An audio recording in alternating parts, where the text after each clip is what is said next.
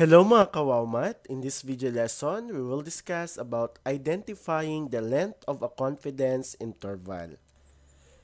The confidence level of an interval estimate of a parameter is the probability that the interval estimate contains a parameter.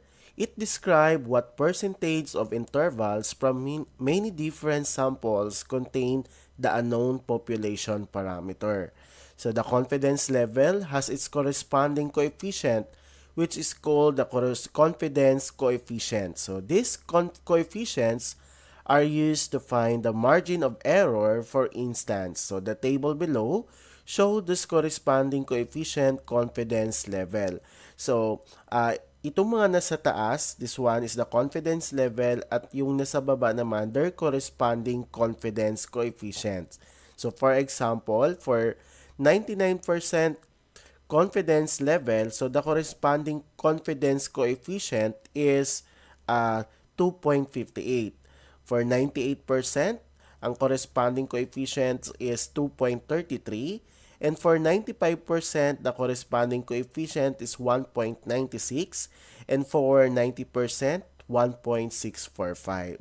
So ito ay gagamitin natin to find uh, to solve the margin of error. Okay? So the confidence interval or interval estimate is a range of values that is used to estimate a parameter. So this estimate may or may not contain the true parameter value. For instance, so we write it in this form. Okay, so the population mean is greater than the lower limit but less than the upper limit. So, how are we going to find the lower limit? So, using this formula, so isa-isahin natin itong formula na to, kung ano yung formula na yan. Okay, the margin of error are denoted as the capital letter E. Okay, the formula is the confidence coefficient times the quantity of the population standard deviation over the square root of n. So, yung n natin is the sample size. And then, this symbol is for confidence coefficient. Kung saan kanina pinakita ko sa inyo yung table na may uh, corresponding confidence coefficient ang bawat confidence level. And then, this symbol is the population standard deviation.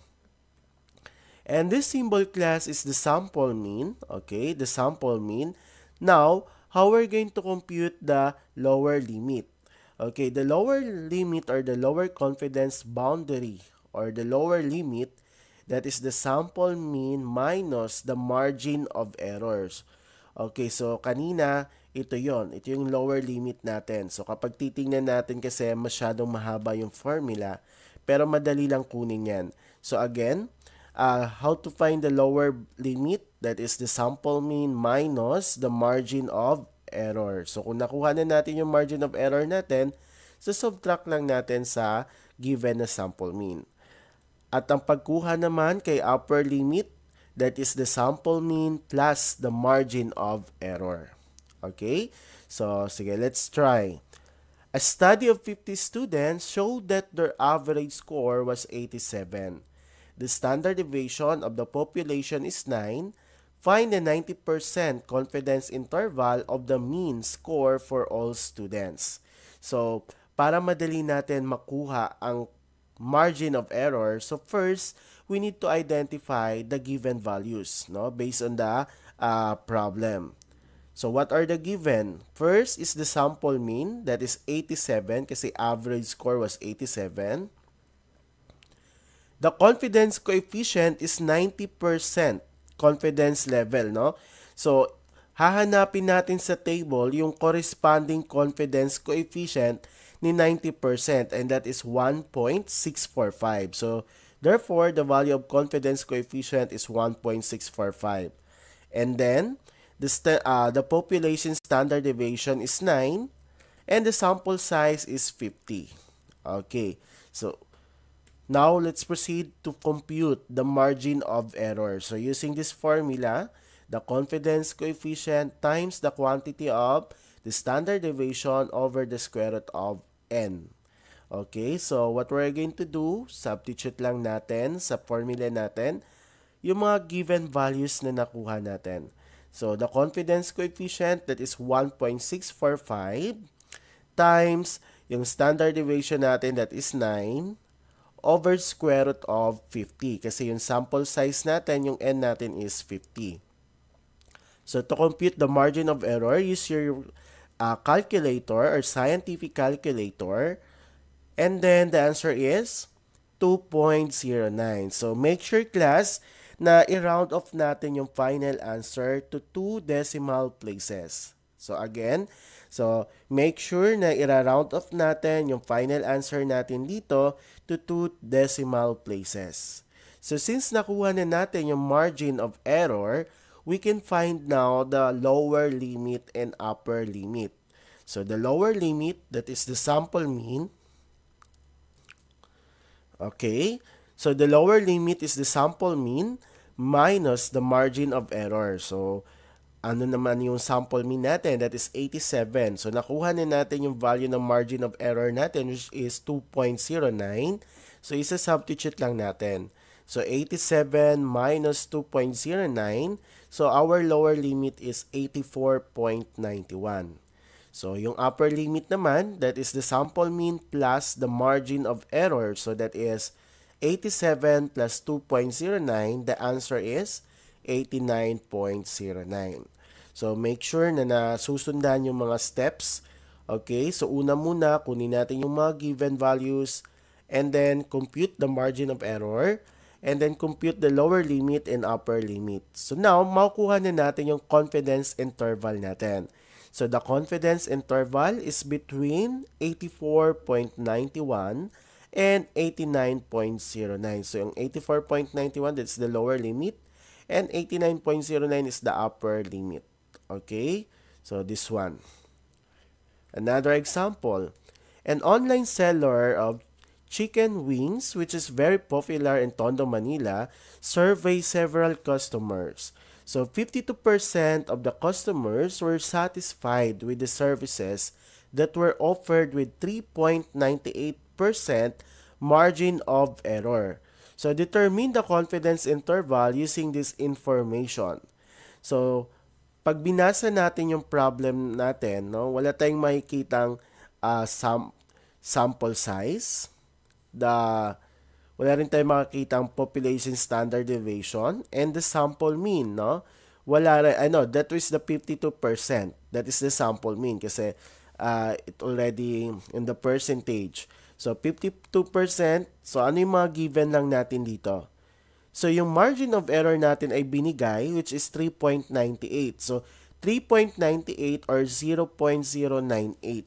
So, again, 3.98 98% or 0.0398. So, pwede i-convert natin into decimal, no? And then, the sample mean, which is 52% or 0.52. So, dito, binigay na yung margin of error. So, hindi na natin uh, kailangan mag-compute ng margin of error. And then, binigay na rin si sample mean. So, madali na lang kunin natin yung lower limit and upper limit. Okay? Since the lower limit is the sample mean minus the margin of error, so the answer is 0.52. So substitute lang natin minus 0.098. The answer is Okay, so the answer is 0.4802 or 48.02%. And for upper limit, that is x, uh, the sample mean plus the margin of error, So that is 0.52 plus 0.0398 that is equal to 0.5598 or 55.98%. So ang ginawa natin dito, kinonvert natin into percent. Okay? Pwedeng ang sagot nyo in, into decimal or pwede rin in percent. Okay? So, ang tanong dito, determine the confidence interval using this information. So, anong confidence interval natin? That is 48.02% or 55.98 or 0.4802 or 0.5598. So in between, no? In between 48 0.02% and 55.98 or in decimal that is in between 0.4802 and 0.5598. Okay, another Okay, I think this is the last example. So first is you are planning to buy a cell phone with a good quality in order to attend the online class. The average price of 50 cell phones is 13,500 pesos with a margin of error of 273.65 pesos and a confidence level of 99%. So ano yung magiging ma, uh, yung mga given values na makukuha natin. Binigay yung margin of error natin, no? And then, that is 273.65. And in the sample mean, that is 13,500. So, kukunin natin ngayon ang confidence level, no? So, anong pinapahanap sa atin? So, kukunin natin yung confidence interval nito. Okay? So, the lower limit that is sample mean minus the margin of error which is 13,500 minus 273.65. The lower limit is 13,226.35. And then the upper limit, the sample mean plus the margin of error that is 13,500 plus 273.65 equals 13,773.65. So therefore, the interval or the confidence interval of this problem is between 13,226.35 and 13,773.65. So that is the length of confidence interval.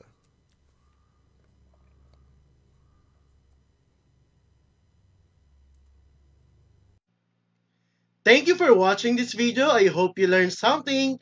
Don't forget to like, subscribe, and hit the bell button para updated kayo for more video tutorial.